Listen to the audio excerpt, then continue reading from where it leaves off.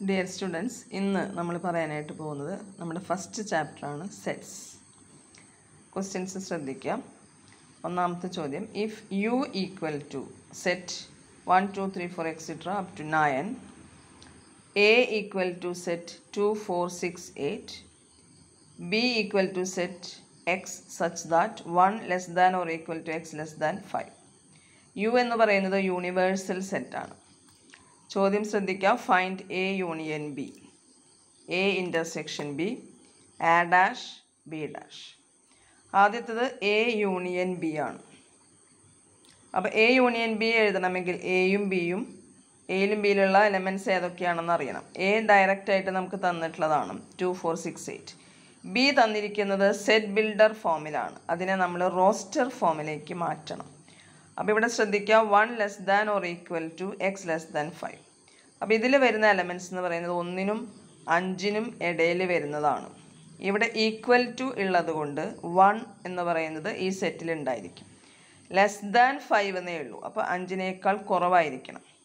അപ്പോൾ ഈ സെറ്റിൽ വരുന്ന എലമെന്റ്സ് എന്ന് പറയുന്നത് one two three four one two three four ശ്രദ്ധിക്കുക ഫൈവിനേക്കാൾ ലെസ് ദാൻ ഫൈവ് എന്ന് പറഞ്ഞത് കൊണ്ടാണ് ഫോർ വരെ നമ്മൾ എഴുതിയിട്ടുള്ളൂ. ഇവിടെ ഈക്വൽ ടു ഉണ്ട്. One less than or equal to അതുകൊണ്ട് വൺ ഈസ് ഇൻക്ലൂഡഡ് ഇനി എ യൂണിയൻ ബി ആണ് നമ്മളോട് കാണാൻ പറഞ്ഞിരിക്കുന്നത്. എ യൂണിയൻ ബി എന്ന് പറഞ്ഞാൽ എയിലുള്ള എല്ലാ എലമെൻസും വരും. ബിയിലുള്ള എല്ലാ എലമെൻസും നമ്മൾ എഴുതണം. എയിലത്തെയും ബിയിലത്തെയും എല്ലാ എലമെൻസും എഴുതാം. ഏതെങ്കിലും എലമെൻസ് റിപ്പീറ്റ് ചെയ്യുന്നുണ്ടെങ്കിൽ അത് ഒരു തവണ മാത്രമേ എഴുതേണ്ടതുള്ളൂ. അപ്പോൾ എല്ലാം എഴുതി കഴിയുമ്പോൾ one two three four six eight എന്ന് വരും. ഇവിടെ ടു ഇവിടെയും ഇവിടെയും ഉണ്ട്. രണ്ട് തവണ വരുന്നുണ്ട്. പക്ഷെ അത് ഒരു തവണയും നമ്മൾ എഴുതണ്ടു. അതാണ് A union B A intersection B എന്ന് പറഞ്ഞാൽ എയിലും ബിയിലും കോമൺ ആയിട്ട് വരുന്നത്. ഇപ്പം നോക്കുക ടു ഇവിടെയുണ്ട് ഈ സെറ്റിലുണ്ട് ഫോർ രണ്ട് സ്ഥലത്തും ഉണ്ട്. സിക്സ് ഇവിടെ മാത്രമേ ഉള്ളൂ ഇവിടെ ഇല്ല. അപ്പോൾ കോമൺ എലമെന്റ്സ് എന്ന് പറയുമ്പോൾ ടു ഫോർ ആണ് വരിക അതാണ് ഇന്റർസെക്ഷൻ കോമൺ എലമെന്റ്സ് ഇനി അടുത്തത് എ ഡാഷ് എ ഡാഷ് നമ്മൾ പറയുക എ കോംപ്ലിമെന്റ് എന്നാണ്. എ കോംപ്ലിമെന്റ് എന്ന് പറയുന്നത് ഒരു സെറ്റാണ് അതിൽ വരുന്ന എലമെന്റ്സ് എയിലില്ലാത്ത എലമെന്റ്സ് ആയിരിക്കും. എയിലുള്ള എലമെന്റ്സ് ഇതിൽ എഴുതാൻ പാടില്ല. പിന്നെ എഴുതേണ്ടത് യുവിലുള്ള എലമെന്റ്സ് ആണ്. യുവിലുള്ളതും അതേസമയം എയിലില്ലാത്തതുമായ എലമെന്റ്സ് അപ്പോൾ വൺ ത്രീ ഫൈവ് സെവൻ എയിലുള്ളത് ടു ഫോർ സിക്സ് എയ്റ്റ് ആണ്. ഇത് മാറ്റി നിർത്താം. ബാക്കി വരുന്നത് യു നോക്കിയിട്ട് ഇതാണ് യൂണിവേഴ്സൽ സെറ്റ് ഇതിൽ നിന്ന് എയിലുള്ള എലമെന്റ്സ് മാറ്റാം.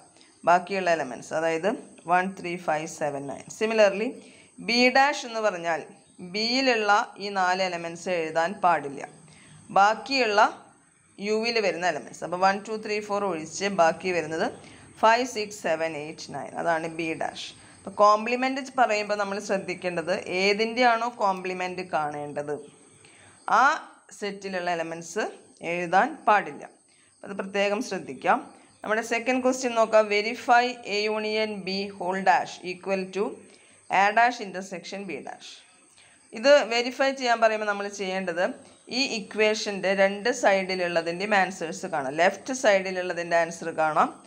എൽ എച്ച് എസ് എന്ന് പറയുന്നത് A union B whole dash അപ്പോൾ അത് കാണാനായിട്ട് നമ്മൾ ഓൾറെഡി എ യൂണിയൻ ബി കണ്ടുവച്ചതാണ്. ഇതാണ് എ യൂണിയൻ ബി കോംപ്ലിമെന്റ് എന്ന് പറയുമ്പോൾ ഈ എലമെന്റ്സ് നമ്മൾ എഴുതാൻ പാടില്ല. Remaining elements from U U നോക്കിയിട്ട് one two three four six eight ഒഴികെയുള്ളത് ഇതിൽ നിന്ന് ഈ പറയുന്ന എലമെന്റ്സ് ഒഴികെയുള്ളത് എഴുതണം. അതായത് ഫൈവ് സെവൻ നയൻ അതാണ് നമ്മുടെ ലെഫ്റ്റ് സൈഡ് റൈറ്റ് സൈഡ് എന്ന് പറയുന്നത് ഇതാണ് A dash intersection B dash അപ്പോൾ നമ്മൾ എ ഡാഷ് ഇന്റർസെക്ഷൻ എന്ന് പറഞ്ഞാൽ നമ്മൾ നേരത്തെ പറഞ്ഞു കോമൺ എലമെന്റ്സ് ഏതിലൊക്കെ കോമൺ വരുന്നതാണ് നോക്കേണ്ടത്? എ ഡാഷിലും ബി ഡാഷിലും ഇതാണ് എ ഡാഷ് ഇതാണ് ബി ഡാഷ് ഈ രണ്ടിലും കോമൺ ആയിട്ട് വരുന്ന എലമെന്റ്സ് പൊതുവായിട്ട് വരുന്ന എലമെന്റ്സ് ഫൈവ് സെവൻ നയൻ രണ്ടിലും ഉണ്ട് അത്. അതുകൊണ്ട് അതായിരിക്കും അതിന്റെ ആൻസർ അപ്പോൾ രണ്ട് സൈഡും നമുക്ക് ഒരേപോലെ കിട്ടിയിരിക്കുകയാണ്. L H S is equal to R H S hence the result അടുത്തത് എ മൈനസ് ബി കാണണം. ബി മൈനസ് എ കാണും. എ മൈനസ് ബി എന്ന് പറയുമ്പോൾ എയിൽ നിന്ന് ബിയിലുള്ള എലമെൻസിനെയാണ് മാറ്റേണ്ടത്. അതാണ് ശ്രദ്ധിക്കേണ്ടത്. എ മൈനസ് ബി എന്ന് പറയുമ്പോൾ ഇതാണ് എ ഇതിൽ നിന്ന് ചില എലമെൻസിനെ നമ്മൾ മാറ്റിക്കളയും. അതായത് ബിയിലുള്ളതിനെ മാറ്റണം. അപ്പോൾ ഇതിൽ നോക്കിയാൽ നമുക്ക് കാണാം. ടു ഫോർ എന്നുള്ളത് ബിയിലുള്ളതാണ് ടു ഫോർ അപ്പോൾ എയിൽ നിന്ന് ഈ ടു ഫോറിനെ നമ്മൾ മാറ്റാം. ബാക്കിയുള്ളത് സിക്സ് എയ്റ്റ് അതാണ് ആൻസർ വരിക എ മൈനസ് ബി എന്ന് പറയുമ്പോൾ എയിൽ നിന്നാണ് നമ്മൾ മാറ്റേണ്ടത് എന്നുള്ള കാര്യം ശ്രദ്ധിക്കുക. റിമൈനിങ് എലമെന്റ്സ് ഇൻ എ അതാണ് ആൻസർ ആയിട്ട് വരിക അതായത് സിക്സ് എയ്റ്റ് ഇനി ബി മൈനസ് എ എന്ന് പറയുമ്പോൾ ഇതേപോലെ തന്നെ ബിയിൽ നിന്നാണ് എയിനെ മാറ്റേണ്ടത്. അപ്പോൾ ബി നോക്കുക ഇതിൽ നിന്ന് എയിലുള്ള elements two four two four ഇതിൽ നിന്ന് മാറ്റിക്കളയുക ബിയിൽ നിന്ന് ടുവിനെയും ഫോറിനെയും കളഞ്ഞാൽ നമുക്ക് കിട്ടുന്നത് വൺ ത്രീ ആയിരിക്കും. അപ്പോൾ അതാണ് B minus A one three A minus B എന്ന് പറയുന്നത് സിക്സ് എയ്റ്റ്. അടുത്ത ചോദ്യം ശ്രദ്ധിക്കാം. ഒരു വെൻ ഡയഗ്രാം തന്നിരിക്കുകയാണ്. ഇങ്ങനെ വരയ്ക്കുന്നതിനെയാണ് വെൻ ഡയഗ്രാം എന്ന് പറയുന്നത്. ഒരു റെക്റ്റാങ്കിൾ ആയിട്ട് വരയ്ക്കും നമ്മൾ യൂണിവേഴ്സൽ സെറ്റാണ് റെക്റ്റാങ്കിൾ ആയിട്ട് റെപ്രസെന്റ് ചെയ്യുന്നത്. അതാണ് യു എന്ന് എഴുതിയിരിക്കുന്നത്. അതിന്റെ സെറ്റുകളെ അതിൽ വരുന്ന സബ്സെറ്റുകളെ നമ്മൾ ഇതുപോലെ സർക്കിളായിട്ട് വരയ്ക്കും.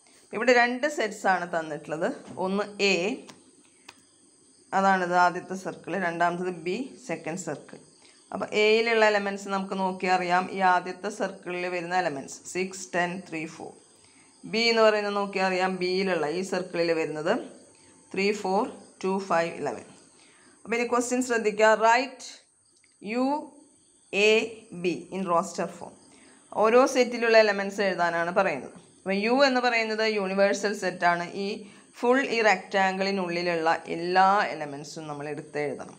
ഒന്ന് മുതൽ പന്ത്രണ്ട് വരെയുള്ളതെല്ലാം ഇതിലുണ്ട്. വൺ ടു ത്രീ ഫോർ നോക്കിയാൽ എല്ലാം കാണാം. അപ്പോൾ യൂണിവേഴ്സൽ സെറ്റിൽ വരുന്നത് set one two three four extra up to twelve ഇനി എ എന്നുള്ള സെറ്റ് നോക്കാം. നമ്മൾ നേരത്തെ പറഞ്ഞ പോലെ ഈ ഫസ്റ്റ് സർക്കിളിലുള്ളത് എഴുതാം. ബി എന്ന് പറയുന്നത് ഈ സെക്കൻഡ് സർക്കിളിലുള്ളത് ഇതുപോലെ കോമയിട്ട് എഴുതുന്ന ഈ മെത്തേഡിനെ പറയുന്നതാണ് റോസ്റ്റർ ഫോം. അതാണ് പറഞ്ഞിരിക്കുന്നത്. ഇനി A minus B A minus B എന്നുള്ളത് ഈ സെറ്റ് നോക്കി നമ്മൾ നേരത്തെ പറഞ്ഞ രീതിയിൽ ചെയ്യാം. അല്ലെങ്കിൽ ഇവിടെ ഈ ഫിഗർ നോക്കിക്കഴിഞ്ഞാൽ വളരെ എളുപ്പത്തിൽ നമുക്ക് കിട്ടും.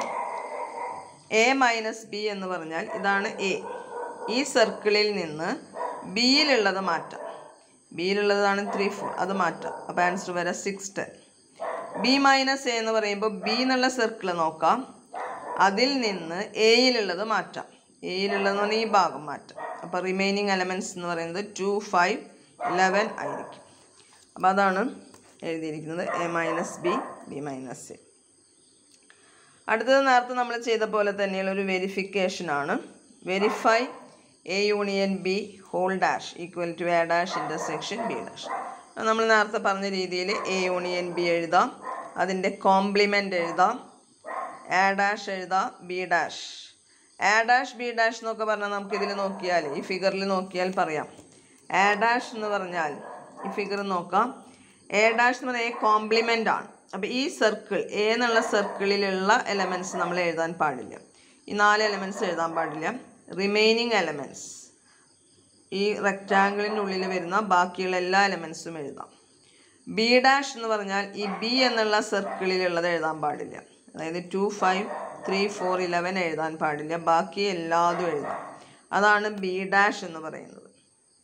A union B whole dash എന്ന് പറഞ്ഞാൽ എ യൂണിയൻ ബി എന്ന് പറഞ്ഞാൽ ഈ രണ്ട് സർക്കിളിനുള്ളിലുള്ള എല്ലാ എലമെൻസുമാണ് എ യൂണിയൻ ബി എന്ന് പറഞ്ഞാൽ ഈ എ ഈ രണ്ട് സർക്കിളും കാണാം. ഇതിലുള്ള എല്ലാ എലമെൻസിനും കൂടിയിട്ടാണ് നമ്മൾ എ യൂണിയൻ ബി എന്ന് പറയുന്നത്.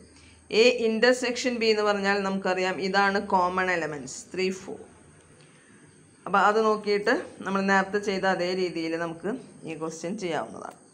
അടുത്തത് find N of A intersection B N of എന്ന് പറഞ്ഞാൽ എന്ന് പറയുന്നതിന്റെ അർത്ഥം number of elements in A intersection B A intersection B എന്നുള്ള സെറ്റിൽ എത്ര എലമെന്റുകൾ ഉണ്ട്?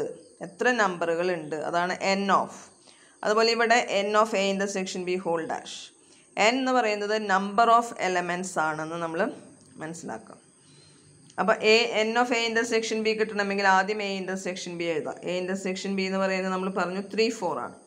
അപ്പോൾ N of A intersection B എന്ന് പറയുന്നത് ഇതിൽ എത്ര എലമെന്റ്സ് ഉണ്ട് നോക്കാം. ഒന്ന് രണ്ട്. രണ്ട് എലമെന്റ്സ് ആണുള്ളത്. അപ്പോൾ വെറുതെ രണ്ട് എന്ന് മാത്രമേ എഴുതാൻ പാടൂ സെറ്റ് ഒന്നും ഇവിടെ ഇടാൻ പാടില്ല. എത്ര എലമെന്റ്സ് ഉണ്ട് എന്നാണ് ചോദ്യം. അപ്പോൾ അതിന്റെ ആൻസർ രണ്ട്. ഇനി ഇന്റർസെക്ഷൻ ബി കോംപ്ലിമെന്റ് കോംപ്ലിമെന്റിൽ എത്ര എലമെന്റ്സ് ഉണ്ട്? അപ്പോൾ എ ഇന്റർസെക്ഷൻ ബിയിൽ രണ്ടാണ്. അപ്പോൾ ആ രണ്ട് എലമെന്റ്സ് നമ്മൾ എഴുതില്ലേ? കോംപ്ലിമെന്റ് ചോദിക്കുമ്പോൾ ബാക്കിയുള്ള എലമെന്റ്സ് ആണ് എഴുതേണ്ടത്. ആകെ പന്ത്രണ്ട് എലമെന്റ്സ് ആണുള്ളത്. രണ്ടെണ്ണം മാറ്റിയാൽ ബാക്കി പത്ത് എലമെന്റ്സ് ആയിരിക്കും ഉണ്ടായിരിക്കും വേണമെങ്കിൽ നമുക്കിത് എഴുതി നോക്കാം. എ ഇന്റർസെക്ഷൻ ബി കോംപ്ലിമെന്റ് എന്നുള്ള സെറ്റ് എഴുതി നോക്കാം. അതിൽ എത്ര എലമെന്റ്സ് ഉണ്ട് എന്ന് എണ്ണി നോക്കാം. അടുത്തത് എ ഈക്വൽ ടു അടുത്ത ക്വസ്റ്റ്യൻ ആണ് കേട്ടോ set of all X such that X is a prime number less than ten ഇങ്ങനെ എഴുതുന്നതാണ് സെറ്റ് ബിൽഡർ ഫോം ഈ താഴെ ഇത് കോമയിട്ട് ഇതുപോലെ എഴുതുന്നതാണ് റോസ്റ്റർ ഫോം അപ്പോൾ നമ്മളോട് പറഞ്ഞിരിക്കുകയാണ് ഇങ്ങനെ ഒരു സെറ്റ് ബിൽഡർ ഫോം തന്നിരിക്കുകയാണ്. ഇതിനെ നമ്മൾ റോസ്റ്റർ ഫോമിലേക്ക് മാറ്റാൻ പറയാണ്. അപ്പോൾ അതിന്റെ അർത്ഥം പത്തിനേക്കാൾ താഴെയുള്ള പ്രൈം നമ്പർ അത് ടു ത്രീ ഫൈവ് സെവൻ ആയിരിക്കും. പ്രൈം നമ്പർ എന്ന് പറഞ്ഞാൽ അതിന്റെ ഡിവൈസേഴ്സ് ആയിട്ട് രണ്ട് എലമെന്റുകളെ വരും. ഇപ്പോൾ ഉദാഹരണത്തിന് നാല് എന്നുള്ളൊരു സംഖ്യ എടുക്കാം നാലിന്റെ ഡിവൈസേഴ്സ് ആയിട്ട് വരുന്നത് വൺ വരും പിന്നെ ഫോർ വരും പിന്നെ ടു ടു നാലിനെ രണ്ട് കൊണ്ട് ഡിവൈഡ് ചെയ്യാമല്ലോ അപ്പോൾ മൂന്ന് ഡിവൈസേഴ്സ് വരും. അതുകൊണ്ട് ഫോർ എന്ന് പറയുന്നത് പ്രൈം നമ്പർ അല്ല. അപ്പോൾ പ്രൈം നമ്പർ ഏതൊക്കെയാണെന്ന് നമ്മൾ അറിഞ്ഞിരിക്കണം കേട്ടോ. അടുത്തത് set of all X such that X is an integer minus three less than X less than three അപ്പോൾ മൈനസ് ത്രീയിനും ത്രീയിനും ഇടയിൽ വരുന്ന ഇന്റിജേഴ്സാണ് ഇവിടെ ഉദ്ദേശിക്കുന്നത്. ലെസ് ദാൻ എന്ന് മാത്രമേ ഉള്ളൂ ഈക്വൽ ടു ഇല്ല. അപ്പം നമ്മൾ ശ്രദ്ധിക്കാം.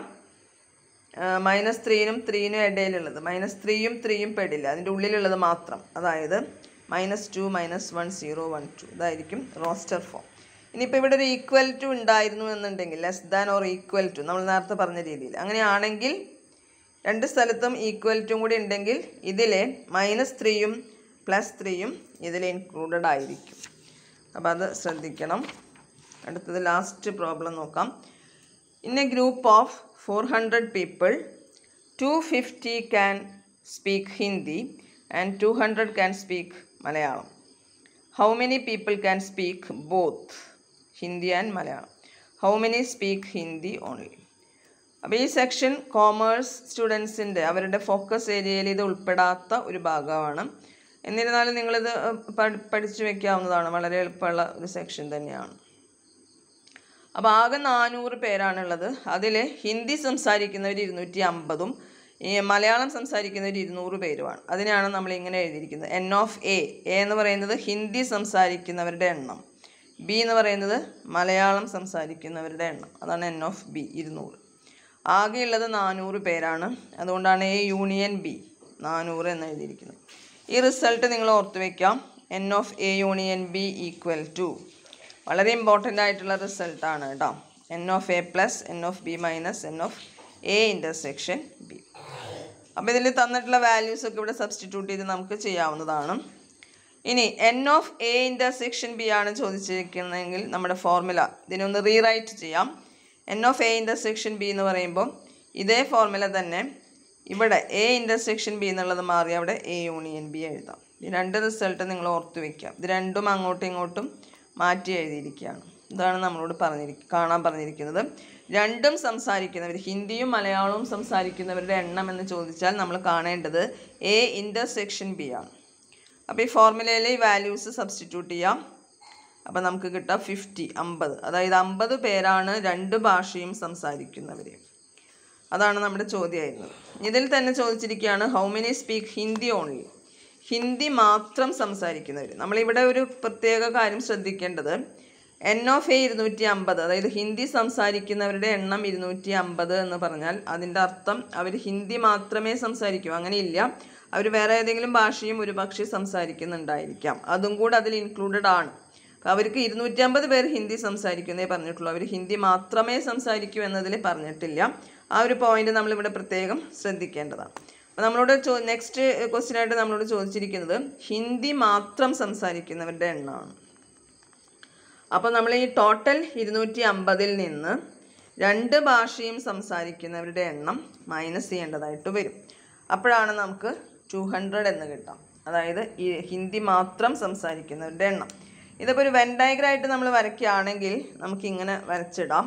ഹിന്ദി സംസാരിക്കുന്നവർ ഇരുന്നൂറ്റി അമ്പത് എന്നാണ് പറഞ്ഞിട്ടുണ്ടായിരുന്നത്. അപ്പോൾ എച്ച് എന്നുള്ള ഈ സർക്കിളിൽ ടോട്ടൽ ഇരുന്നൂറ്റി അമ്പതാണ് മലയാളം എന്ന് പറയുന്നത് ഇരുന്നൂറ് പേരാണ്. മലയാളം ഈ സർക്കിളിൽ ടോട്ടൽ ഇരുന്നൂറ് പേരാണ്. അപ്പം ഈ സെന്ററിൽ അമ്പത് കൊടുക്കാൻ കാരണം നമുക്ക് കിട്ടിയതാണ് രണ്ടും സംസാരിക്കുന്നവരുടെ എണ്ണം അൻപത് എന്ന് നമുക്ക് കിട്ടിയതാണ്. അതുകൊണ്ടാണ് സെന്ററിൽ അമ്പത് എഴുതിയിരിക്കുന്നത്. അപ്പോൾ ഇരുന്നൂറ്റി അമ്പതിൽ നിന്ന് ഈ അമ്പത് മൈനസ് ചെയ്യാണ് ഈ ഭാഗമാണ് ഹിന്ദി മാത്രം സംസാരിക്കുന്നവരുടെ എണ്ണം. അതായത് ഇരുന്നൂറാണ്.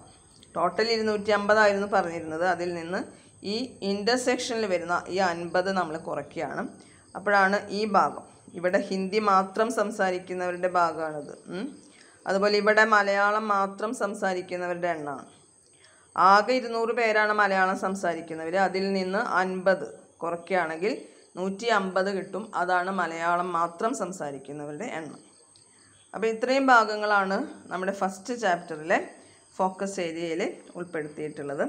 ഇത് നന്നായിട്ട് നിങ്ങൾ ശ്രദ്ധിച്ച് പഠിക്കുക കേട്ടോ. Okay thank